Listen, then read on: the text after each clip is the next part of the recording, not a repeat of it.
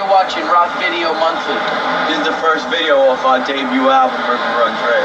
Love it. And this is through and through. Please give it a listen.